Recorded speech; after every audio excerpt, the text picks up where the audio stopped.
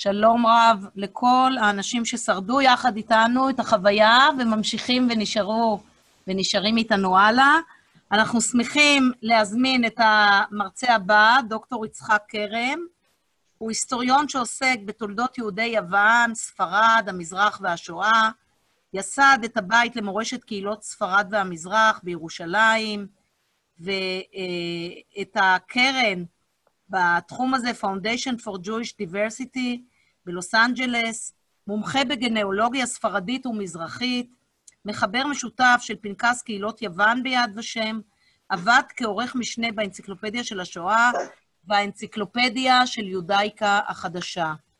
דוקטור יצחק כרם יד... ישוחח איתנו על נושא הרצאתו הרעב בסלוניקי בשנים 1941-1942. בבקשה, יצחק, הבמה שלך. קודם אני מודה מאוד למארגנים, לפרופסור שאשא, לדוקטור לבסקי, לירון מקיבוץ לוחמי גטאות, ואני אסביר את השקף השני עכשיו. זו מפה של יוון. בהתחלה יוון הייתה מחולקת בשלושה, בשלושה אזורי כיבוש. האדום זה אזור הגרמני, סלוניקי הוא בצפון, באמצע, גם בקצה הצפוני המזרחי, ובאיים בכרתים. הכחול זה האזור האיטלקי, פרט מהאדום של אתונה, כי הגרמנים באופן רשמי שלטו בשלושה שבועות הראשונים הם היו השליטים היחידים, אחר כך העבירו את ההוראות לאיטלקים. אבל בקשר לרב, כשה, כשהגרמנים הזניחו את יוון ובלמו אה, אספקה וכולי וכולי, לא רק הקהילה היהודית הגדולה בסלוניקי רעבה, אבל אה, הרבה מהעם היווני, ובמיוחד באתונה. כי אתונה הייתה עיר גדולה ולא אה, לא בקרבה לחקלאות. אפשר להמשיך עם השקפים, ירון. מיד בכניסת הצבא היווני ליוון, באפריל 1941, במהירות התפשט רעב ביוון בגלל הזנחת הצבא הגרמני בחברה היוונית. ליהודי סלוניקי לא היו קשרים טובים עם האוכלוסייה הכפרית היוונית האורתודוקסית בפריפריה של מקדוניה, וסבלה מרעב האוכלוסייה היהודית בסלוניקי שמנתה מעל ל-56 אלף נפשות. ימים אחדים לאחר בואה, בואו של הצבא הגרמני בסלוניקי, הגרמנים סגרו את בית החולים היהודי ברון הירש. היו הערכות גבוהות שהתמותה היהודית הגיעה עד 60 נפשות ביום מרעב. לא מאות, אלא אלפי יהודים בסלוניקי מתו מאותו רעב, מסתיו 41 עד פברואר 42. גופות יהודים נשקפו, נשכבו על המדרכות והכבישים בשלושה אזורים יהודים גדולים של העיר. לכמה חודשים התמותה הייתה מאוד אקוטית, עד שהייתה חלוקה מסודרת של אוכל בעיר, ועד שאוניות חיטה יכלו להגיע ליוון מקנדה, טורקיה, אוסטרליה ועוד מקומות. המשלוח הראשון של חיטה הגיע מטורקיה באוקטובר 41. רונקלי, שליח הוותיקן, ניסה להשפיע על גרמניה לספק אוכל ליוון. בזמן הרב באתונה, הנזירה הקתולית הלני קפר, אישה מאוד דינמית, הביאה ש... שבע ספינות של חיטה ליוון מאוסטרליה. היא עזרה למאות יהוד, יהודים להינצל באתונה דרך אספקת מקומות מסתור, כסף אוכל ומקלט במנזרים ובתי ספר של המסדר הקתולי באתונה. הקרדינל קלבאסי ייסד באתונה את Le Foyer de Divine Providence, ובכל עיר ביוון שבה היו קתולים הוקמו מרכזים לעזרה סוציאלית ורפואית, חמישה מהם באתונה. הכנסייה הקתולית עשתה מאמצים רבים בעת המלחמה להכיל נזקקים. ורבים מהם היו יהודים שקיבלו ארוחות ומזון מש... משומר. השיא של הרב היה בחורף 1941-42. הרעב החל בסתיו 41 ונמשך עד חורף 42. בגלל המלחמה נגד גרמניה הנאצית, בעלות הברית הטילו מצור על נמלי יוון. בתגובה לרב, הרב ההמוני בתחילת 42, בעלות הברית ביטלו את ההסגר הימי בפברואר 42, ואז פגע הרב הקטלני. בעלי הברית הגיעו להסכם עם הגרמנים על כניסת אלפי טונות חיטה ומזון מיוון כל חודש בחלוקה בחסות הצלב האדום הבינלאומי. לראשונה באוקטובר 1941, הסגר הימי הופר על ידי כניסת ספינת הקרגו הטורקי אס.אס קורטולוס, שנשא באופן סמלי 1,700 טונות חיטה לרווחת האוכלוסייה היוונית. אותה אונייה נסעה שש פעם בין איזמיר ואיסטנבול בטורקיה לבין פיראוס, יוון, בין אוקטובר 41 לבין פברואר 42, על מנת להביא אוכל לעם היווני כביטוי אחווה וסולידריות בין טורקיה לבין העם היווני תחת כיבוש גרמני אכזרי. האונייה נלוותה ליוון על ידי משחטות גרמניות והייתה צריך לתמרן סביב לשדות מוקשים בים. היוזמה אורגנה על ידי הצלב האדום הבינלאומי, משרד החוץ הטורקי ושר האדום בטורקיה. בהתחלה השכבות החלשות היהודיות היו קורבנות של הרב, אך בהמשך הוא פגע, הוא פגע ברוב השכבות בקהילה היהודית. הרבה יותר תושבים בסלוניקי מתו מרב מאשר הפצצות של האיטלקים בנובמבר 1940, שבהם נהרגו 232 תושבים. ילדים יהודים היו קורבנות לרב, ונפוץ היה לראות גופות של ילדים יהודים מתים ברחבי סלוניקי בחורף 1941-2. בפרוץ הכיבוש של גרמניה, של גרמניה ואיטליה ביוון, כוחות הצבא הגרמני והצבא האיטלקי שודדו באופן מסיבי כל דבר שהיה לו ערך. היה צריך להכריע את הכוחות הוורמאכט הגרמני ביוון.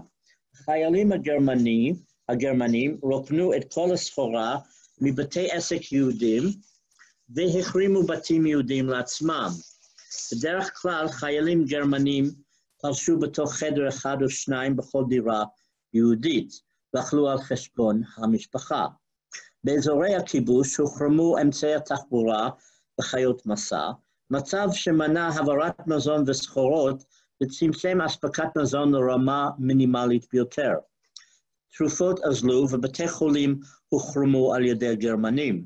הגרמנים מראשית הכיבוש חייבו את כל חברות היווניות להעביר 51% של המניות של החברות הפרטיות והציבוריות בידי הגרמנים.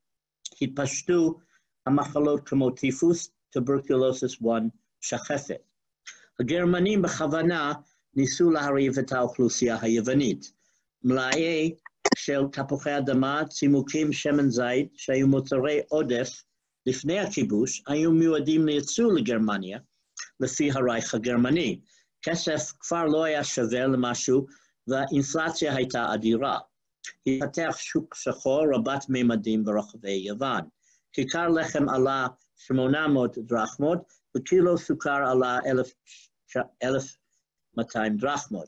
רק ב-6 לספטמבר 1941, לפי החוק החלה חלוקת אוכל לפי קופונים. רוב המוצר החקלאי לא הגיע לציבור ונפל בידי ספקולנטים, מתווכים ומבריחים. החלוקה הדלה כללה כ-45 עד 90 גרם קמח ליום. רוב הכלכלה הייתה סובבת סביב לשוק השחור. תוך כמה חודשים מאז סקירת כיבוש גרמניה ואיטליה, נסגרו חנויות והשווקים. מטבחי אוכל אורגנו על ידי הכנסייה היוונית האורתודוקסית והקתולית באתונה, ובסלוניקי בנוסף להידרגנויות של הצלב האדום. באתונה עד תחילת הכיבוש הגרמני, בספטמבר 43, יום יום שלושת אלפים יהודים קיבלו אוכל מהצלב האדום בחבילות או במטבחים ציבוריים. בגלל המצור של כוחות בעלות הברית, בעיקר אנגליה, הטילו נגד יוון בים כדי להחליש את כוחות הציר. מתו 300 אלף אנשים ברחבי יוון ב-1941-2. היו ימים באתונה שבהם כאלף אנשים מתו מרעב. באזור כיבוש בולגרי בטרקיה היה איסור על העברת חיטה החוצה. קודם לכן, 30 אחוז מאספקת החיטה ביוון סופק על ידי אזור זו. החקלאות המסודרת נעלמה, ובנוסף להתעלמות השלטונית, הייתה בצורת חצי שנה. בחורף 1941-2 היה שטף של פליטים מטרקיה וממקדוניה מזרחית בכיוון סלוניקי ואתונה. הבולגרים הוסיפה לזרם הפליטים על ידי גירוש כמה שיותר יוונים משטחה. הפליטים גרמו לדלדול נוסף במלאי האוכל באזור סלוניקי. בסך הכל, הערכות של קורבנות רעב ביוון במהלך המלחמה מגיעות ל-400 אלף מתים. כוחות ופן אס התנקמו בפעילות התנגדות על ידי הנשת קהילות וכפרים שלמים של יוונים בהרג ושריפת בתים ושדות. תהליך הרציחות שם קץ לחיי האדם, אך בלם אפשרויות שיקום קהילות וכפרים. בתחילת הכיבוש הגרמני, מונה לנשיא הקהילה היהודית פקיד יהודי שקט ופסיבי בשם סבי שלטיאל. בתחילת הכיבוש הגרמני, הרב הראשי קורץ נעצר, וגם מנהיגי ועד הקהילה. האחרונים שוחררו לאחר זמן קצר, אך נוטרלו במידה רבה על ידי הכיבוש הגרמני. קורץ היה במעצר בווינה עם נכבדי יהדות יוגוסלביה. מעצרו תואר כך, אני מצטט, ב-17 במאי עצרה הגסטאפו באתונה את הרב צבי קורץ ואת דוקטור הלוי. דוקטור הלוי שוחרר אחרי חקירה קצרה, ואילו הרב קורץ גורש לווינה, באשמה שכביכול דיבר בגנות מדינות, מדינות הציר, בהרצאה, בהרצאתו שהשמיע בפרנסוס, ששלח לקהילות יהודיות בארץ ישראל, במצרים, באנגליה ובארצות הברית, מברק מחאה נגד הפצצת כנסיית סופיה הקדושה בסלוניקי. כעבור שמונה, חודשים שוחרר ממאסרו, סוף הציטוט. קורץ שוחרר מכלא בפברואר 42, ושוב נאסר ביוני בקיץ 42, לתקופת שישה שבועות בכלא ביוון, יחד עם 600 יוונים אורתודוקסים. בתקופה קריטית של רעב הוא נעדר. בשלהי שנות ה-30 הוא הקים מוסדות רווחה וסעד משמעותיים בקהילה. הוא לא היה אהוד על רוב הקהילה היהודית, אך השאלה איננה רלוונטית לתקופת הרב הנידונה. מיכאל מולכו ויצחק נחמה תיארו את הגידול של התמותה עקב הרב. החורף של 41-42 היה קשה במיוחד, והוסיף עוד על המצוקה. הרב והקור עשו שמות. אנשים רעבים חיטטו בערימות הזבל, שחסמו את הרחובות מעין שירותי ניקיון, בתקווה לגלות מזון כלשהו, קליפת תפוחי אדמה, שרי ירקות. דמויות מעוררות זוועה סובבו בעיר, ובכל פינה התגוללו פגרים. זעקת הרעבים המבקשים עזרה, ואין נישא באוויר. באסון הכללי הרב של היהודים על אלה של הנוצרים. המשפחות היו ממירות הכל בכסף אנשים היו מוכרים רהיטים וחפצים אחרים ומתפטרים מבגדיהם ומנעליהם בעבור פת לחם. במיוחד רצתה התמותה בקרב הילדים. לפני המלחמה מתו בממוצע 15 מיהודי העיר בשבוע, ובחורף הארור הזה עלה מספר המתים עד 60 ליום. סוף הסיפור. סבי שבתיאל בתור נשיא הקהילה, איחד כל המוסדות צדקה היהודים לוועדה אחת. בוועדה זו היו כוחות מעולים, ומאחורי הקלעים הם עסקו בבעיות מנהלתיות וכלכליות של הקהילה. מולכו ונחמה ציינו, מזועזעים מספרי מקרי המוות שההולך וגדל. החליטו, למרות יוקר מצרכי המזון, לחדש את פעולות בתי בית התמחוי של החברה מתנות לאביונים, זה שבמשך עשרות שנים הייתה המלאך הגואל של תלמידים נצרכים וסיפקה להם, בין השאר ארוחת, ארוחות צהריים. יתר על כן, החברה הגדילה את קצבותיה לאלמנות יתומים ולעניים, סוף הציטוט. באמצע 41 העניקה מתנות לאביונים סיוע ל-200 ילדים, ואילו בשלהי 42 כבר עלה מספר מקבלי סיוע ל-2,000. מעריכים שמתנות לאביונים בצלב האדום חילקו מדי יום 5,000 ארוחות וכן חלב ל-1,700 תינוקות. מטבחים לנזקקים נפתחו באיה, בשכונות איה פרסקבי, ורדר רובע 6, רובע 151 וברון הירש.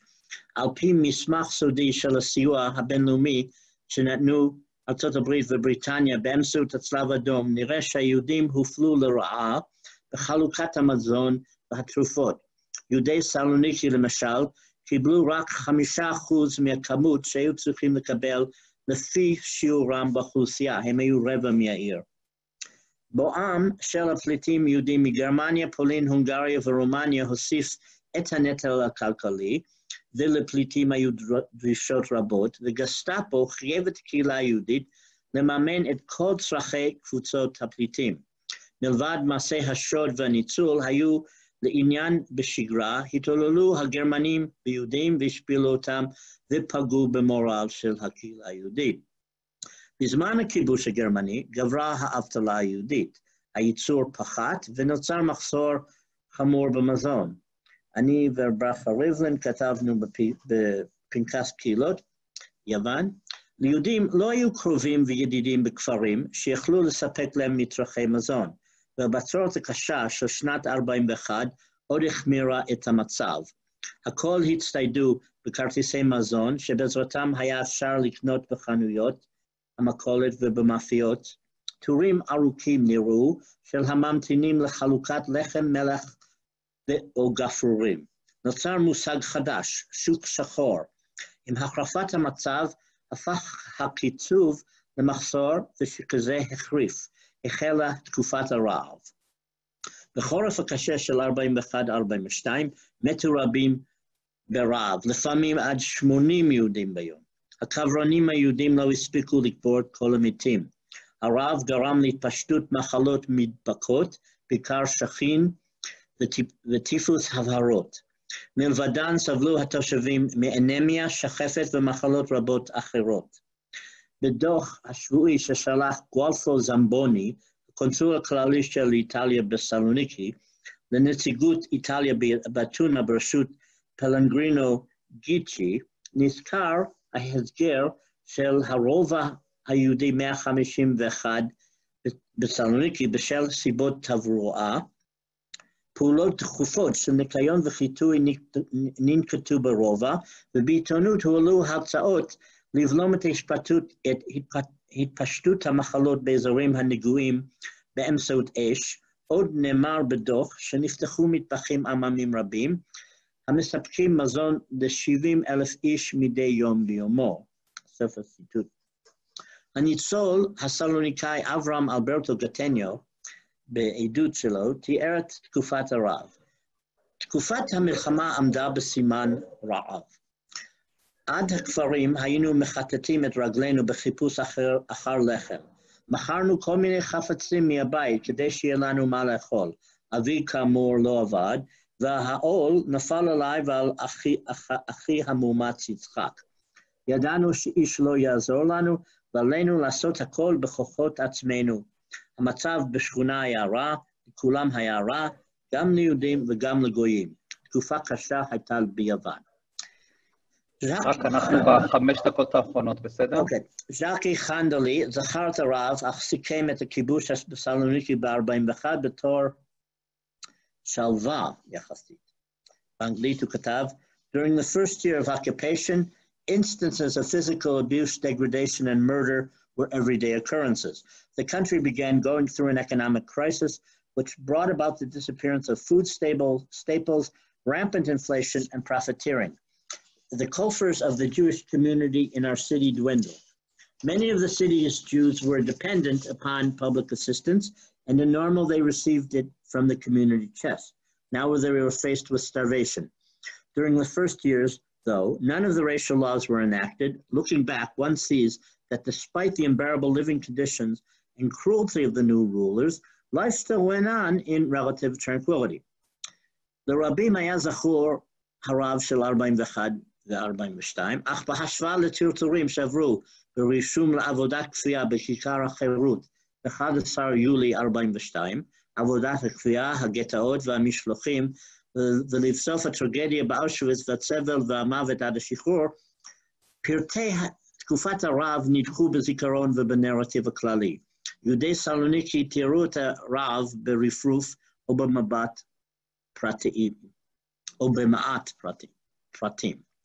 פרטים.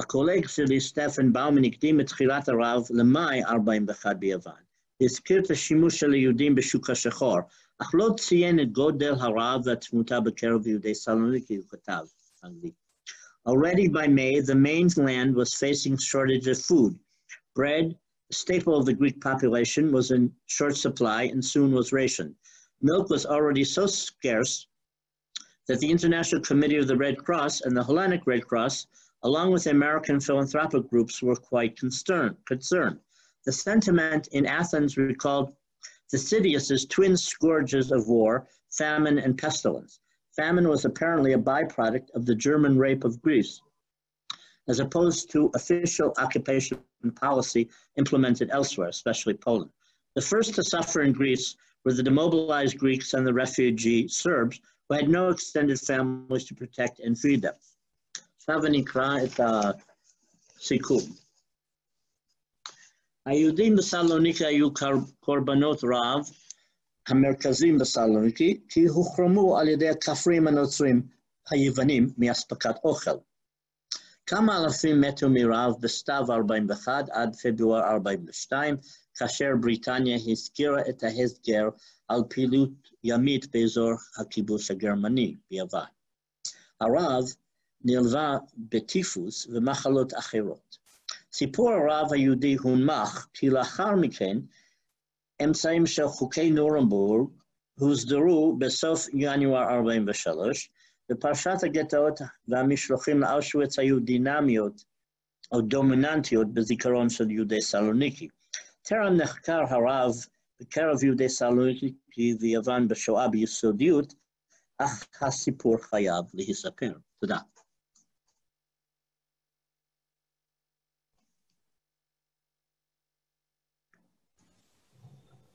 תודה רבה אה, לדוקטור יצחק כרם על ההרצאה החשובה על סלוניקי, ואם יש למישהו שאלות, אז בבקשה, אנחנו נשמח אה, שתשאלו את יצחק. אם לא, אני הייתי רוצה לשאול אותך, יצחק, עד שעוד אנשים חושבים. אה, אתה יכול לעשות, להגיד אולי בקצרה, אם יש לך נתונים, מה היה ממוצע הקלוריות בהגדרה שאתה אומר, אה, אני מבינה שאנשים היו רעבים, אם אפשר להשוות את זה לגטאות כמו ורשה, לודג', או שזה סיפור אחר מבחינת כמות הקלוריות? תראה, רק ציטטתי שקיבלו בממוצע בין 45 ל-90 קלוריות. אז אני לא איש... אה, אז זה, פח, אז זה פחות מגטו... אבל זה פחות, אבל לא, לא הייתי משווה. זה נשמע, זה נשמע קצת אה, חמור הרבה יותר ממה שקרה בוורשה, כי שם פורמלית היה 200, בממוצע עם השוק השחור קיבלו קצת יותר. בשלב מסוים אולי כן, הגיעו ל-700 או לא, 800 קלור. כי אמרתי שבעצם בכל ההקצוות רימו את, את היהודים. אז הם קיבלו רק חמישה אחוז ממה שהיו צריכים לקבל. אז כתוספת האנשים השיגו דברים ממקומות אחרים, אבל בקצבה הרשמית של הקופונים, בסופו של דבר קיבלו מעט מאוד. עכשיו, שוב פעם, בתור חוקר, אני לא אז, לא שאלתי הרבה אנשים על דברים כאלו. אולי העלו את העניין, יש מעט מאוד uh, אזכורים בכל הרעיונות uh, בעל פה, אז uh, ברור שנשמע שהתלונה שה, הייתה מתחת לזה של פולין, אולי רבע או חצי מזה. ברור שלפי הנתונים האלו היה אפילו פחות ממה ש, שקיבלו באושוויץ ליום. ושיעורי אבל... התמותה, שיעורי התמותה בהתאמה, הם גם כן לעומת ורשה? לא, לא, אז זאת אומרת, בטוח היו תקופות שעד 60 אנשים מתו ביום. יד ושם ברפרוף אה, הזכיר שאולי כמה מאות מתו, לא, אלפים מתו. כי במהלך, אה, נגיד, חמישה חודשים, אם 60 אנשים מתו בממוצע ביום, זה אלפים. עכשיו, אז גם אני וברכה ראינו מספרים של 80 אנשים שמתו ביום.